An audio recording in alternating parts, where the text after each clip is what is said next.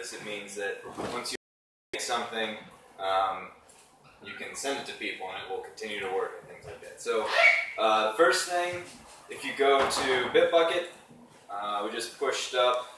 So you go over and hit sync now. Mine is six commits behind sync. Just pushed up T time class five, which is what we'll be doing today. And then also don't we uh, put up some hyperspec stuff as well. So um, do that, pull those things down real quick. Shouldn't take too long. Um, now, if uh, if you still find yourself um, challenged by the bucket and um, Gitbash or Terminal, uh, you can find it. I did just upload T time class 5 on the drive, so you can do it that way. Um, all right, so what we're going to do today is we're to make, we're each going to make our own package some sort. You can make the exact pack, package I'm going to make, or you can change up your function or whatever, but um, we'll go through kind of rapidly-ish. So, um, in this T-Time Class 5 that I have, uh, first you need to install the package, package uh, DevTools. DevTools stands for Development Tools for developing um, whatever, whatever you want really in R. So install that package and then library that in. Um, let's see, I'll run it just to, just to see what happens. Uh-oh. Should be fine. And then, uh, so what, so DevTools has everything that you could pretty much need for making packages. It has all the tools in there for building them, for creating them, and then there's also another one that we'll put, we'll install as well called Roxygen 2. Um, In So- addition, uh, on Windows, you have to install something called RTools to give Oh. a bunch of background stuff that's required to make Windows able to compile things. And on Mac, there's a similar odd package. If you run on Linux, everything is already there. Dev DevTools should, I think it should, in uh, using the dependencies, pull in RTools for you, um, so that way you can use it. So uh, we libraried in um, DevTools. I'm going to open up a new RStudio that's separate of this script, so it doesn't kill that script. We're going to be working between two different R Studios at the same time today. Um, so in this one, we're going to go uh, File and New Project. And then we're going to say, let's do it in an existing directory. Um, and I'm going to browse around for the directory that I would like to use it or to do it in. And I'm going to say, um, actually, I'm going to change my mind. I'm going to go back. I think I'm going to start a new directory um, and our package. So we're going to call this something. I'm going to call it SDLE T time is the package. And we should tell it where to be the subdirectory of. And I think the best place to put this would be uh, if we're in um, our Git folder, and then we go to our own T time branch, and go to code, and then packages. Let's put it in the packages folder. That'd be the best place. Um, there's some other things in here. You can use uh, a package called PackRat. Um, it's a package development uh, software, um, but I think it's a little. Uh, I, I looked into using it for myself, and I don't think it matched what I really needed. But it is another thing that happens. You can also create a Git repository strictly for this package um, to create it in. So those are some other two options you have there. So now I'm gonna. I have my package name. I have where I want it to be. I'm to hit Create Project. And it's going to switch the RStudio over to a project. Um, and this one is the project So I made this a little bit bigger. Um, you can see that now inside of the project, it has opened up a uh, function here, a file, and it says hello world. It's an example function named hello. It prints the um, hello world. Um, and then it has some other things. If you just ran these couple lines here, these three lines, it's going to make a function in your um, environment. So I don't know if I talked about functions too much um, at all or how to make them, but it is in R, it's you name the name of the function, um, and then you assign it. you can use an equal sign as well, and then function inputs go in between your uh, uh, parentheses there, and then a bracket, and then a bracket at the end, and then whatever you want it to do.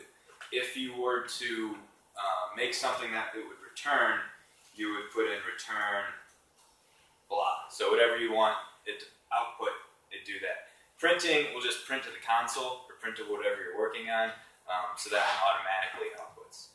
So this is the one function they have in here. Um, so I'll update that one, and then if I type in hello, and it's going to come out hello world, and then it's going to give me a null because I just said return, and it didn't return anything, so it's going to let me know that it was supposed to return something, but it never was actually supposed to return. So that's what the null's from. Um, so that's the that pops up there. Now, if we go back to packages, so we were in packages and we created the folder SDLET time for this particular package. This is the SDLET time folder. And inside are a couple different files. So the first thing is the description. So the description has a ton of different things about your package, describing it essentially. Um, what's the package name? Uh, what is it? It's package. What it does. You would fill this out and say what it is going to do. Um, authors who wrote it, um, who to complain to, uh, and some other things. And this is the default who to complain to, your fault at somewhere.net. And uh, Hadley Wickham, the guy who made this, is, I guess he's a little bit of humor. Um, license, some other things. And then as you create more things in the package, your description file will actually automatically update. And I'll show that in a bit. The next folder in here, actually I'll go to R first. So R holds all the functions um, that the package uses. And so hello.r is in there, and so it uses uh, hello. If we go back, and so you'd put all your different functions in the R folder. Um, the next one is uh, the man folder, and the man folder has your help files. So in this case, this is the help file that is um, created that generates when you do question mark that function and it pops up. Um, so these are that's those files. That's where they sit. And then there's also a namespace file. There's going to be nothing in it right now. It's just kind of sitting there, not doing anything. Uh, this is actually really important for uh, CRAN. So if you make a package and you submit it to CRAN, the namespace is how it kind of plays nicely with other packages and functions and such. Um, and then the last thing is the actual project, and that's the whole environment that we're currently in. Um, when you exit it, it'll save everything into there um, as a project. So now let's play around with this, and we can make a function of our own, and also create some help files, and then build the package, and then install the package, and then I'll show you an example of the package that I'm working on right now. Um, so if we go back to the other RStudio that we're in. So, okay, we installed DevTools, we did a file new project, got that, um, uh, and we kind of perused the different stuff in there, and now let's make our own function. So I wrote one for us to use. I'll just kind of quickly copy and paste it over. Copy, take it over to the project. Um, we're going to create a new R script paste that in there.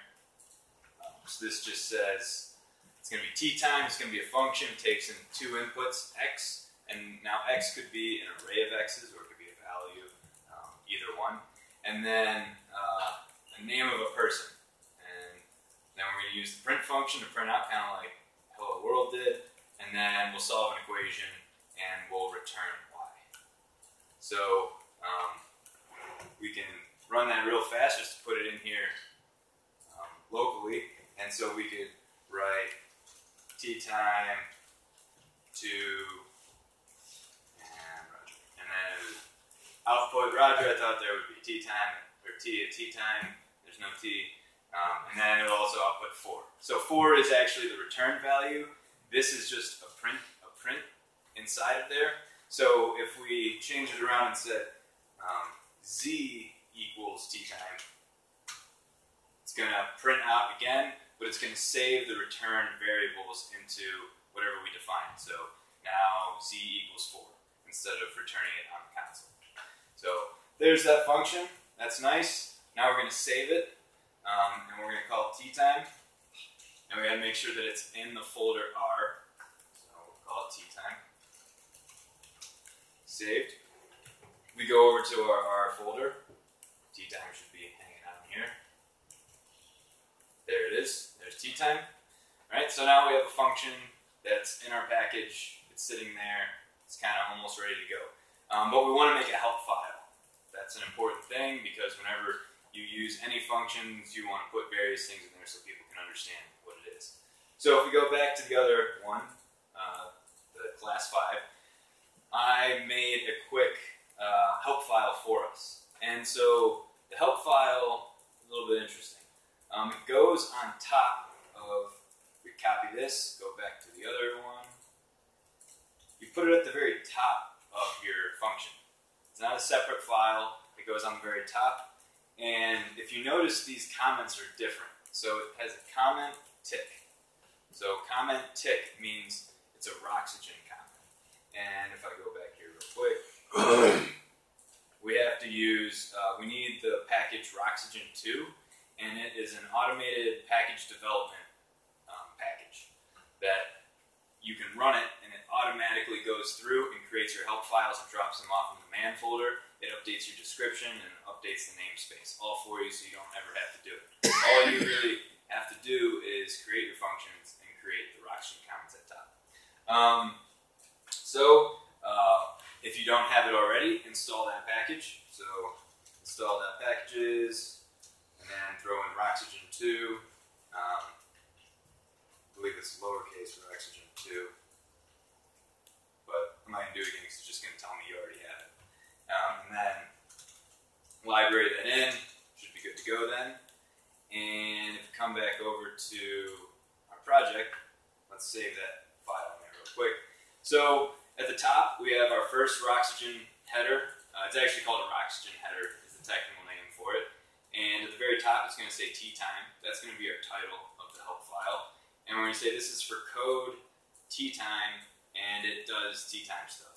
Um, then we write a quick description about it. This function reads in an X value or array and returns the value squared. It also talks to you. Um, and then the first parameter that you put in there using at param, uh, and that'd be X, and then a quick description about that value or array that is inputted. The next one at param again, and our second parameter person, name of the person uh, you want to embarrass or whatever. And then at return, we'll say this is what it's going to return to you, and it's the values of x squared. Um, and then using add examples, now these are what your examples would be. Says input a set of x values and name the person, so y equals t time to, um, and then person.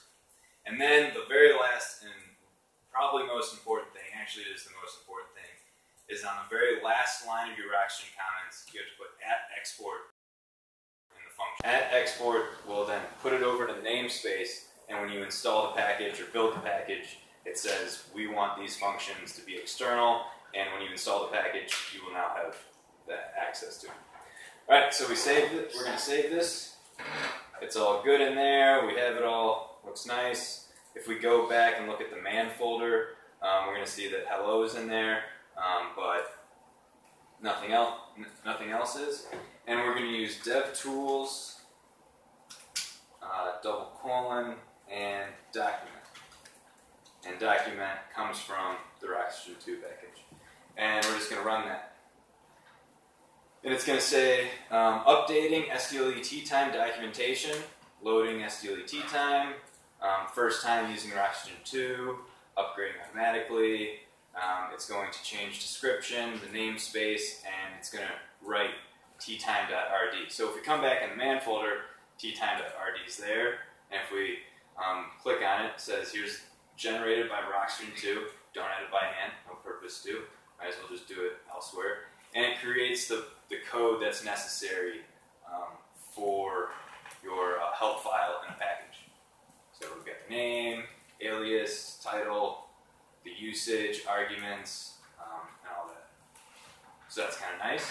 And then if we go back and look at the description, it's going to say uh, we're using Roxygen notes in there. And if we go to the namespace, it's going to tell us that we should export T time when we build or install this particular package. Any questions so far? It's kind of actually really, really simple to make packages. It's almost, it's very surprising how easy it is um, and how automated it is, and that all, all, of a sudden you can create these help files out of nowhere. Um, all right, so I think we have enough in here now. One function per script. It will work with more than one function Yeah. in a script, but that's not a good practice. So there's there's a couple things um, in the R folder. So actually, the hello that's sitting in here, it doesn't have an export on it. So that function is internal to the package. So you can write more functions internal to the package that are necessary to be run in your other functions. Um, you can do that. You can also write sub-functions inside, but it will only export one function one function that you define within one file. Or at least I'm pretty sure. And that's what I've been doing. So, um, it's but- the right practice. yeah, so that works kind of nice. You can put little sub functions in there to make your uh, just to make your code look nicer for yourself, but it's only going to export one function um, per script. Um, so, all right, so we've got all that. Now let's make it. Um, so this is what we need to do to build, and it's pretty complicated. DevTools colon colon build, and it's going to build. All right, so it just built our package. Um, did a couple different things, checked for some stuff. Now there's actually a ton more things you can have inside of a package that this would actually build. I'll show those a little bit later in one of our packages. But so now it has created a package and it's told me uh, the path to it, and there it is right there. So it's a .tar.gz file, which is a compressed file that has all the different information um, about your package. So there's the package, all nice and tidied up. So if we go back to our other RStudio, we kind of come down. All right, we use DevTools document and we use DevTools build. Uh, let's install this package. Okay. Now this isn't a CRAN package. The CRAN package, when you write install.packages and put the name in, it automatically points to CRAN and it looks up there for it, grabs it, pulls it down. Um, this is a local package that we made, so we have to change a couple things in install.packages. Um, and let's see, let me ask what my direct working directory is here real quick. Downloads. Okay, that should work. Actually, I'm going to change this over to.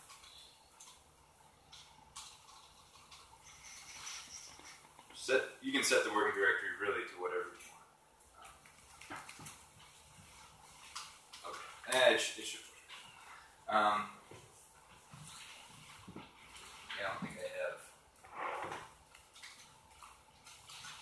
Yeah, okay, that's gonna work.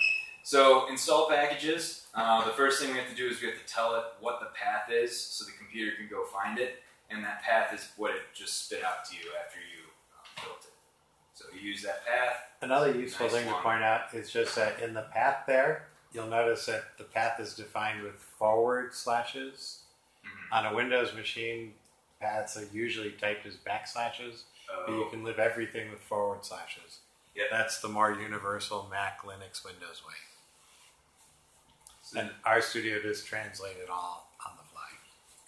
Yeah, so we've got, for me, it's H drive get 16 SLAT time, and so most people should have 16 SLAT time your name, code, packages, SLAT time, and then that. The next part we have to write in, uh, so comma, repos equal null, so it's not a repo, it's not up on cloud, don't look for it there. the, the next thing is the type of it is a source because we're telling what path to go and grab it. And then the last piece is we want to tell what library to install it to. And so I'm using the symbol dot, and that just says right where we're sitting. Let's just throw it in there. So we'll run this, and it should work. Oh, B is not found. Highlighted. All right, installing packages. Done. Okay, STLET time is now installed. The next part we have to do is the package STLET time. We have to library it in. We got to tell what library it's in. All right, let's grab that.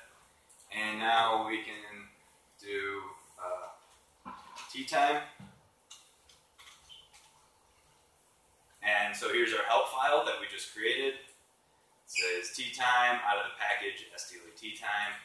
Um, description, the usage, arguments that we just talked about, uh, details, and an example. And uh, let's use this example. I'll copy paste it. It worked pretty nicely. So um, there's our function. It works. It's on a package. We can share it with people. We can install it other places. Um, so that's kind of a really nice, nice thing to be able to do. Um, any questions on that? It's kind of a quick, quick on how to just make a package. So how did you get it so we could install it from Bitbucket?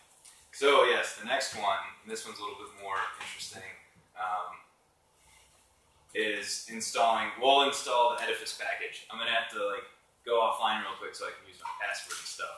Um, but so the next piece, and this is you can now install it off GitHub or Bitbucket or another repo source of, some, of something that is what's the other one? GitLab. GitLab. Um, anything that Dev, DevTools supports or understands. So DevTools or DevTools has installed Bitbucket as a function.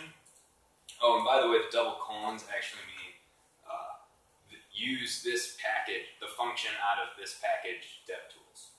So if you had multiple packages with the same function name um, and you told it not to mask them, you would you would be able to point to the package and use that function. So, but it's just good practice when using DevTools to use the double colons. Um, so the first thing that we have to define, and this might be more of a VDI virtual desktop that we have issue than maybe a normal issue. I haven't really checked. Um, but for the VDI, we have to change the lib paths. So if I put libpaths dot libpaths, um, it's going to tell tell me. Oh, I already changed them before. So, um, but usually it would say something else crazy. We want that to be exactly SDLET time. Um, me check real quick that I don't already, because I was playing around with this earlier. I don't want to have put in, put in. I think I already installed the package. Downloads T time. Just to be safe, I'm to open up a new RStudio because I think I might have actually libraried in this package and it's not to work.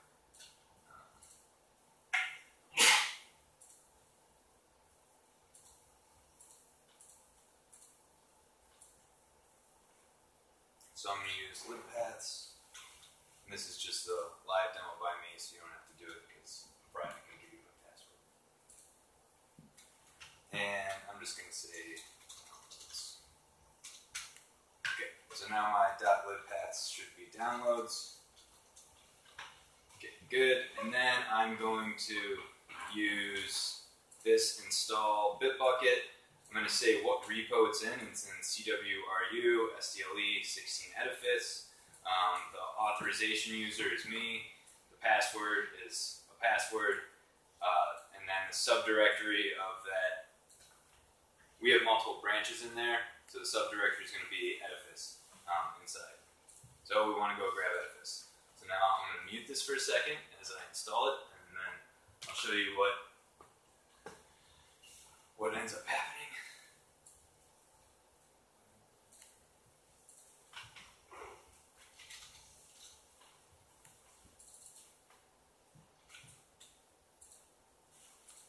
And hopefully it works on the first try, so this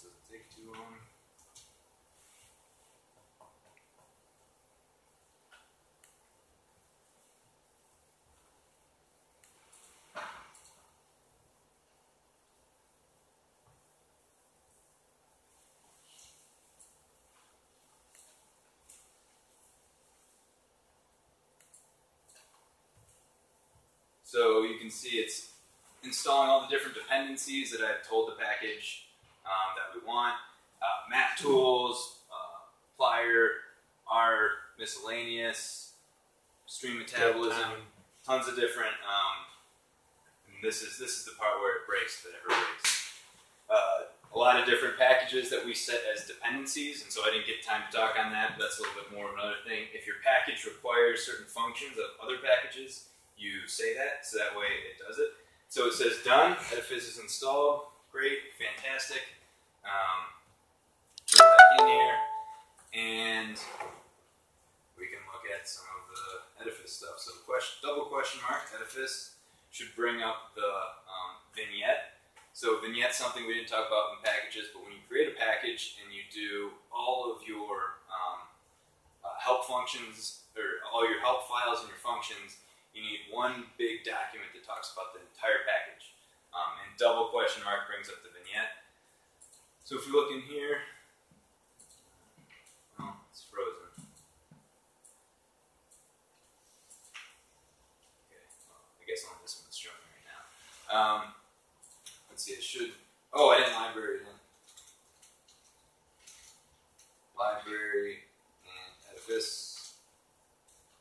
And need to tell it that. just- Okay, library in. Should have it. I have a couple functions that I use. No addition is one of my functions. It has the help file, everything about it, um, the arguments, things you need, details, values, examples. Um, if I do question mark edifice, should have. Oh, I guess my vignette is down right now, or it didn't. Yeah, we have to solve that. On some other versions of it, um, did have a full long form vignette of an HTML document that went through every single function and what it was doing. Um, but in the, in the one that's currently up on Bitbucket, that's not in there. And we can kind of go through and look at what's actually inside of this massive package. This is actually kind of big. Let's see if I can scroll up and show some of the stuff that was happening without getting too close. So, um, so it went through and found all the different um, things in there. If I go up one more, then you know, password and everything's up there. But it's installing the package into HDownloads. Uh, it's trying some URLs for all the things like map tools plyr that it needed to go grab, our MISC. Um, checked all those packages, downloaded all of them, and then installed Edifice afterwards. So it's all in there. And if we go and take a look at what Edifice looks like, and this is the repo that it just pulled from. So this repo is sitting here. It just pulled from that repo, but grabbed it from Bitbucket, pulled it down, opened it up. And if we go into Edifice, there's a lot of other different things. So and man we looked at. Um, Inst has the exterior data, so um, you can have internal data and exterior data. So this data uh, you can pull in as example data to run through all the functions and to test them all out. Um, I could technically actually run that in there right now, but it takes a little bit, so let's kind of skip that. So you can put data along with it. So like we saw MT cars that comes with a package, um, with the package mass, it comes with the Boston data set. You always want to send an example data set for people to use in your examples that you give. Uh, man folder, so here's all the different help files that we have. So there's kind of a lot of them sitting in there. Um, all the different R files. These are all functions that are exported out. Um, Also, a big part of packages is testing. So you want to make sure that you can test to make sure that all your functions are actually working. And so uh, Jack has done a ton of work with this and uh, in testing things, analytics, all these different fun- all these um, files right here. I'll go through and test all the different functions and make sure that they're working with synthetic data. It goes through, checks them all. Okay, good.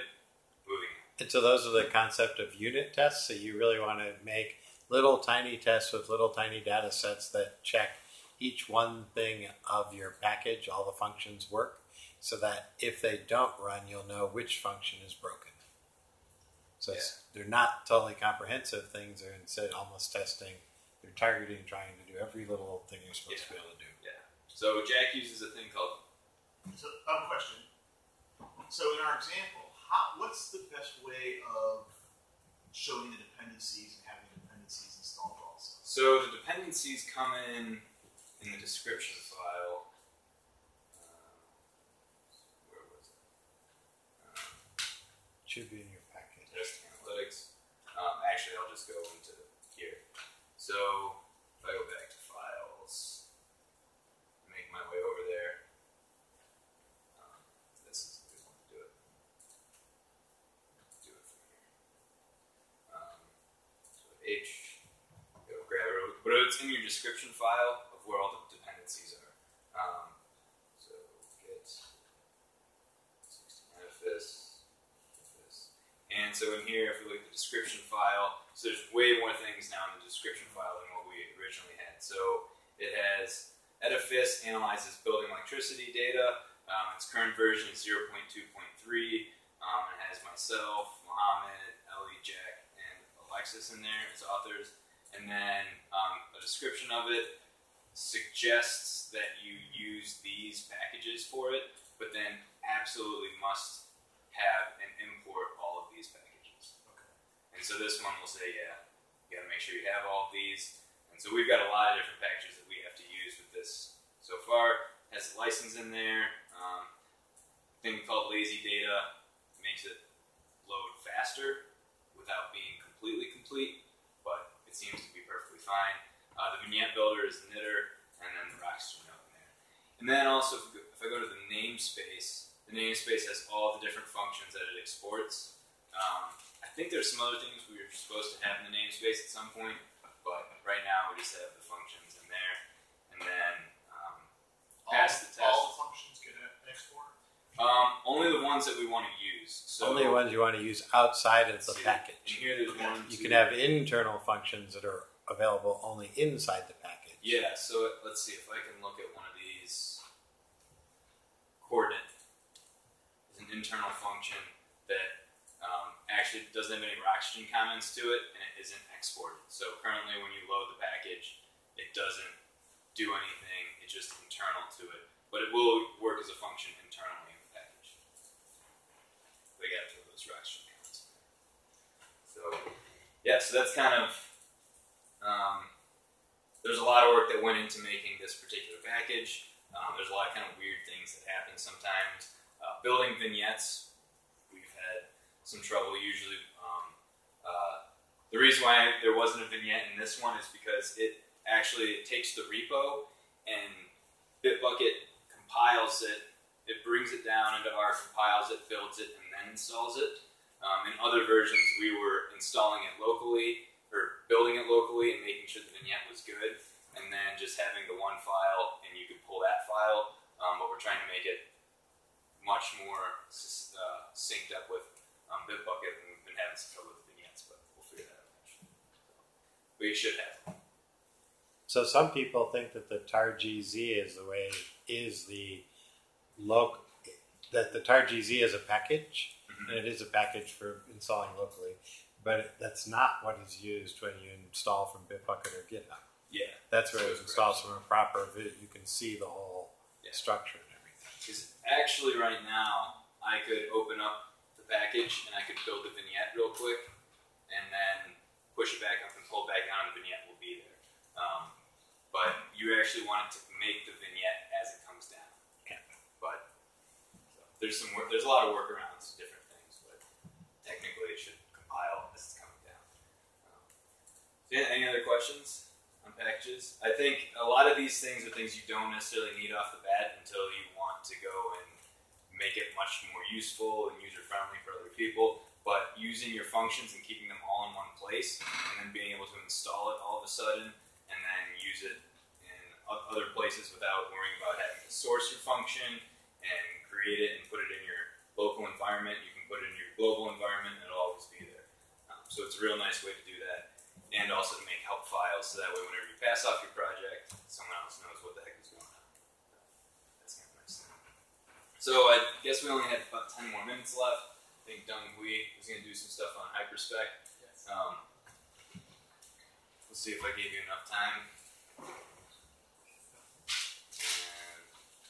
let's see, I'm gonna kill this one. It should be just sitting right.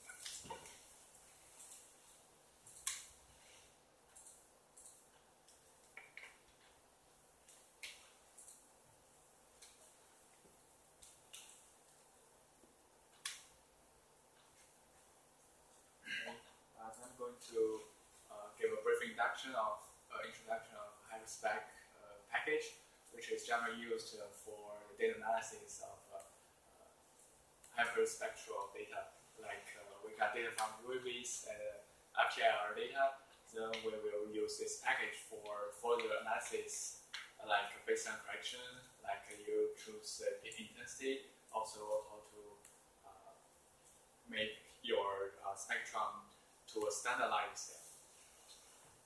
So first, I would like to tell uh, the hyperspec object. The structure of hyperspec object is it has four slots. Let's first uh, load the package, and then uh, let's take a look at one of the uh, standard data inside the package called uh, control.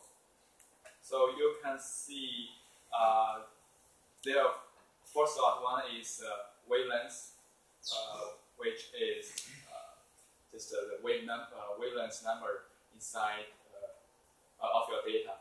And the data here shows the based on your looking at the data, it shows the intensity of the absorbance. Some,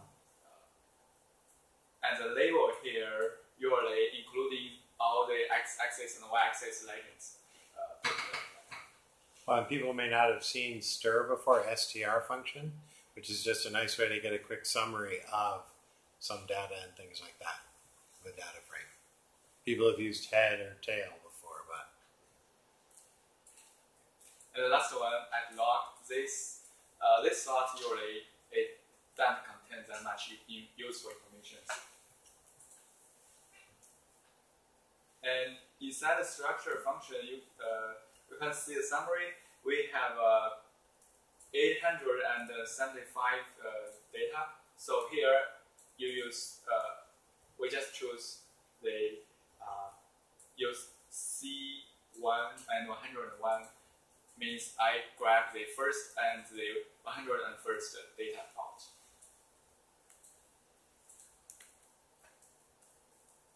And here is just a two uh, wave uh, intensity data. Then I will first, uh, based on the structure, I will first tell how to uh, recreate a hyperspec sometimes you need to grab one or two uh, the data you want from a, a big amount of data. Then you use a new function, and uh, in hyperspec means object uh, name, and you use a data one, which is uh, created from here. I grab out the first uh, and 43rd and 100th data out, and that will be put into the second uh, slot, which called SPC. And the wavelength uh, slot will be the uh, wavelength number from the uh, corrected data. And also you use uh, uh, point wavelength equal to paste to add the uh, legend into your data. And let's plot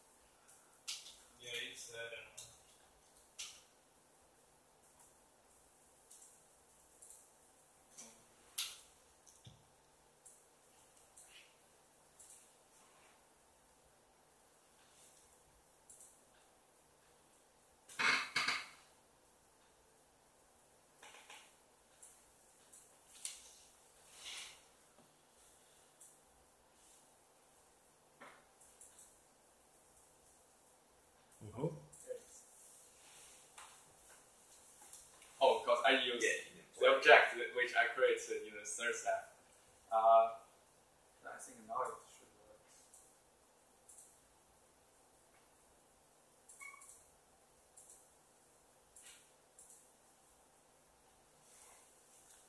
Yes, here's a new uh, hyper Mhm. uh, spec I create, uh, it, which includes three spectrum. So that's the way you use a new hyperspec function to create a uh, hyperspec object. That uh, uh, so after we know the how to create a hyperspec, we'll try to uh, reverse the wave number. Because basically, when you uh, plot the uh, data out, usually it's from uh, 700 to 100 and 800. So we use the reverse WL wavelength number, wavelength point reverse is equals to true, and to reverse the wave number, and also uh, use legend and text function to add the legend into the specific Mhm. position. If you saw uh, this legend position is not so proper, then you can tune from here. The uh, so the 100 and one- 1150 means the x-axis and the 100 uh, 1500 means the y-axis. You can tune by the different uh, points. And also, there's another function called uh. When you want to use the hyperspec object data for some other function like baseline function, the baseline function doesn't recognize the hyperspec. So you have to use as matrix to change your hyperspec data to uh, matrix data. And in that way, in that function, after the transformation, they only transform the uh, uh, the uh, intensity of your peak, but without the wave, wavelength or wave number. So you can add, uh, you can extract the wave number from the hyperspec data. Use the uh, new hyperspec at wavelength to extract the wave number slot. And basically, there are two uh, baseline correct function. With the first one called SPC fit poly, and let's first uh, uh, so this is the uh, original spectrum, and uh, um, plot out the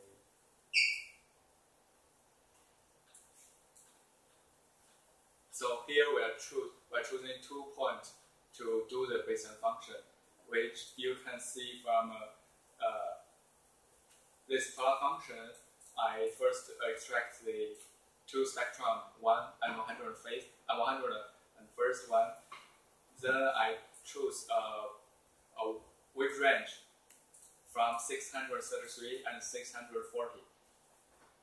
Another wave range is uh, 1788 and 1790.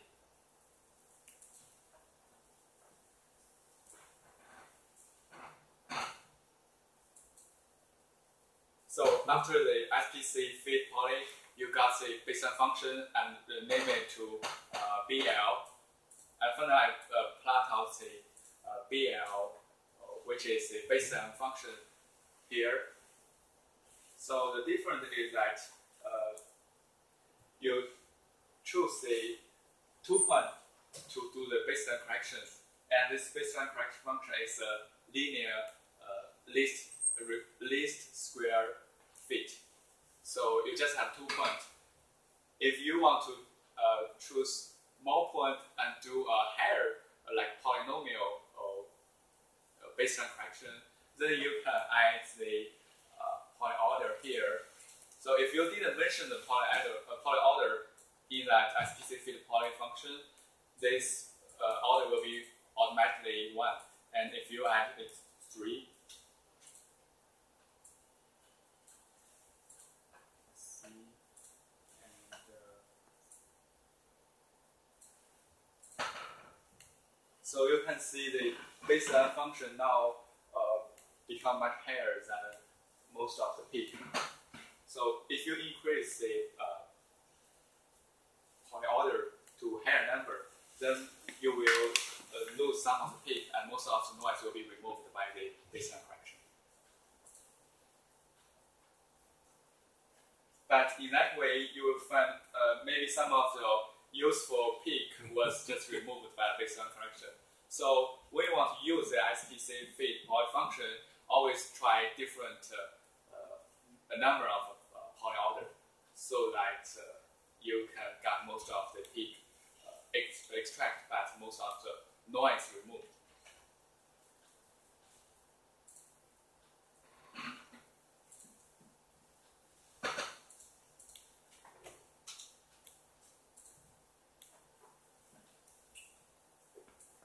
And you can plot with a plot PC to uh, uh, get a stacked spectral that you can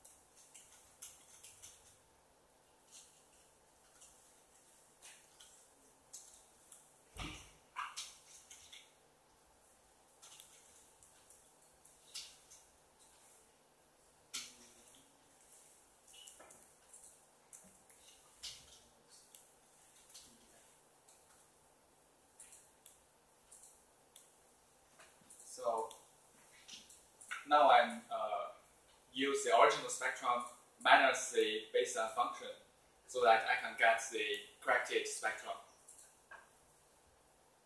And plot it out. So this is the uh, so because the uh, poly- polynomial order I use three, so you can see most of the people Mhm. under the baseline. If you use one, most of the people will be above that baseline. And in that way, you use the uh, stacked is equal to true to make different uh, uh, spectrum plot in the one spectrum.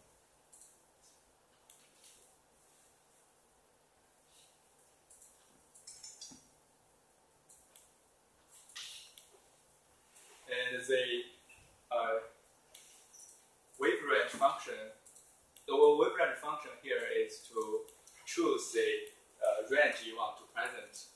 If your uh, uh, the peak you're looking at is a range like one one thousand to uh, one thousand three hundred, you can just uh, remove the other parts of the spectrum.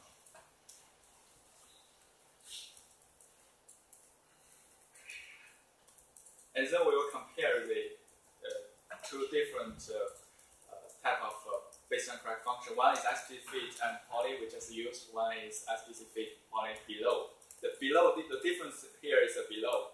You can choose the uh, the point below your baseline correction.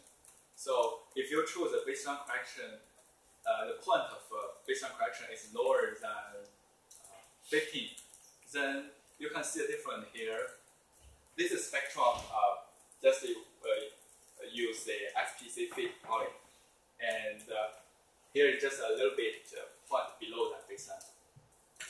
And this one is when you use uh, SPC fit poly below and set the point below the baseline is 15, then you can see more of the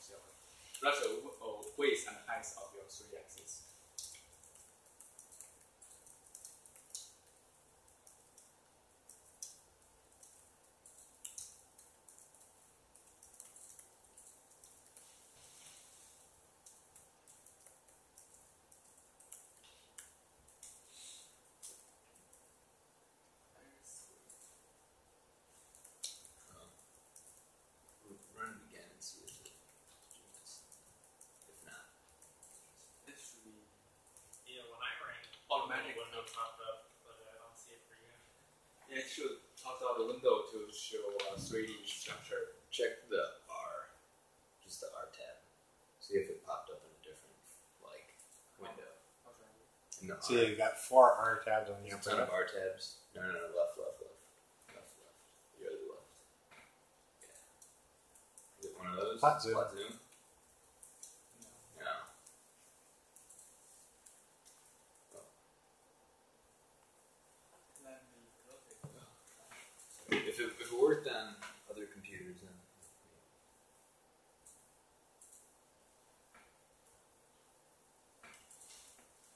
No. That worked.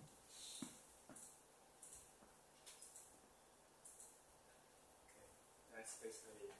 Mhm. And uh, also, you can use vignette to. There's a lot of uh, uh, plotting function inside the vignette plotting, which is uh, specifically for hyperspec object. Mhm. And uh, also, you can. Oh, there is another package called baseline, which also can do a baseline correction. Cool. Thank you. Thursday will be, or next week will be Python. Switching to Python. Yep.